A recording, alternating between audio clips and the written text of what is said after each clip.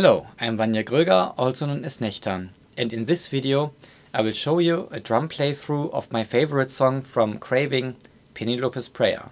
Enjoy! Before we start with the video I would like to mention that since yesterday I have a new Instagram account, so now you can follow me on Instagram, the link is down below in the description. Also, I have two questions for you guys. The first question is, what would you like to see on my channel in the future? Do you have any wishes or suggestions? Comment down below. Also I would like to know what kind of problems and issues you run into when you learn for example the push-pull technique or my foot technique or just regarding drumming in general.